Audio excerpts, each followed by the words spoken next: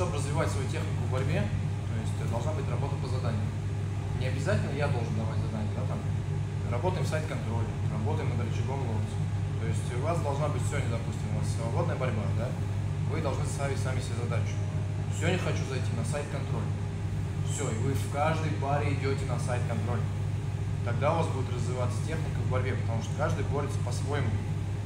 И от этого будут у вас работать те же финты, потому что иногда вы спрашиваете, как научиться делать финты. Да никак. Делайте работу по заданию, тогда у вас будут финты. Вы будете уже подстраивать соперника под себя, потому что у вас есть в голове задание, вы его делаете.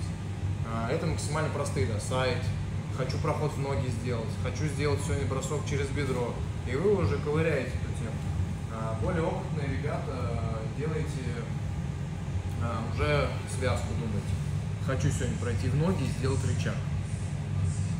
Все, и вы стараетесь его сделать, ну, и так далее. У кого просадка борьба, борьбы снизу? Все, в этот день, на этой неделе я работаю только снизу. Сажусь на задницу и вывешиваю его, чтобы мне это, что, чтобы мне это там не стало, да, то есть не бойтесь ошибаться, вот и все.